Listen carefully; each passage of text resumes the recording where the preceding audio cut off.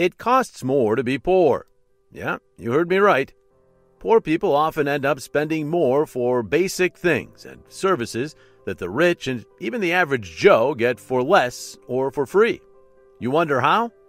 Being poor often forces you into making poor decisions that seem like the only solution to your immediate problems, but they tend to create more trouble down the road and make you lose more money, adding to your already heavy load of woes. Obviously, only a few of us truly understand the harsh reality of poverty. It's time we open our eyes and take a closer look. Stick with me to the end, and I'll show you how and why being poor is more expensive. Let me break down some other ways the poor man loses money. Financial services. It's hard to navigate modern life without basic financial services like ATMs, checking accounts, and personal checks. But the less money you have, the more you end up paying for these services that the well off get almost for free. Banks make their profits by earning interest on your money. So if your account balance hovers around the poverty line, usually under $1,500, they no longer see you as a profitable customer, and they start making you pay for basic services through monthly fees. And heaven help you if your balance goes below zero.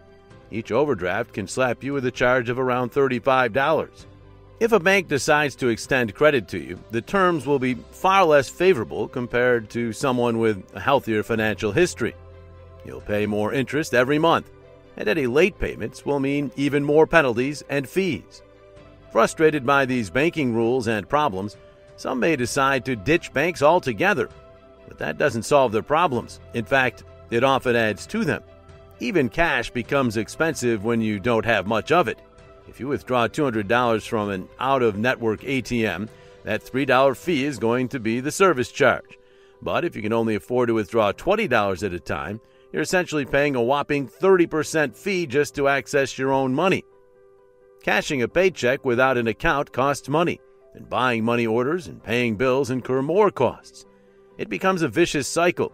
Either deal with late payment charges or pay extra for delivery services to pay bills with cash costing even more in the long run.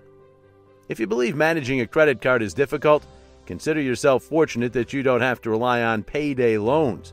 These types of businesses tend to prey on individuals who do not possess credit cards, subjecting them to exorbitant interest rates that can reach an astonishing 800% annually. Yet countless people are compelled to endure this financial nightmare.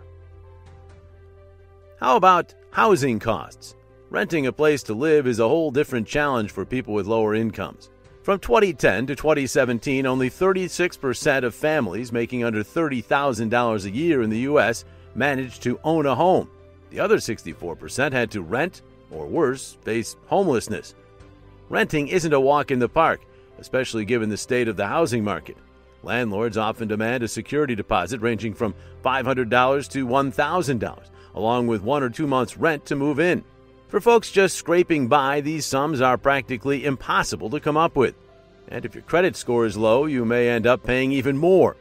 In such cases, the only option, other than homelessness, might be a low cost extended stay hotel, which doesn't usually require a deposit. But here's the problem it costs way more than an apartment in the long run, and it often lacks amenities like kitchen appliances and laundry facilities that save apartment dwellers time and money. Another way the poor man can lose money is through food and grocery expenses. The story doesn't end with financial services and housing. It's more expensive for low income families to put food on the table and buy basic household necessities. Not only do they spend a higher percentage of their income on these essentials, but they also face higher prices.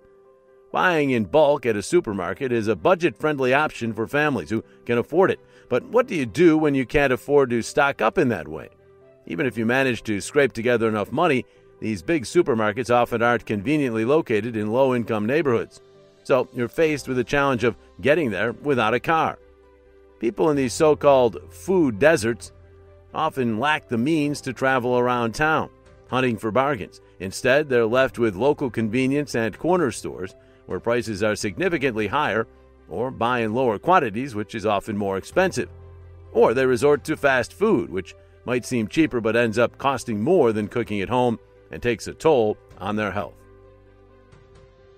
Next, taxes. It's a common belief that the wealthy shoulder a significant portion of federal income taxes. But taxes don't stop at the federal level. When you factor in state and local taxes, sales taxes, and other levies, the tax burden falls excessively on the poor. There was a study that shows that in 10 U.S. states, low income individuals spend six times more of their income on taxes than the wealthy. It's a financial disaster. The poor also spend more on health care. Imagine having to make some tough decisions about where to spend your last dollar. Should you pay the water bill, buy dinner, pay rent, or visit the hospital? Of course, you'll leave out the doctor's visit because you think those symptoms aren't that serious until it completely deteriorates and you're compelled to spend more, whereas it could be prevented with a medical visit. But that's not all. Poverty isn't just financially unhealthy, it's physically unhealthy too. Due to a lack of money, many can't access better health care options that would provide the medical attention needed to cope with life's challenges. Some people become so mentally drained that they suffer from fatigue, heart attacks, or even contemplate suicide. That's the extent of the toll poverty takes on both the body and the mind.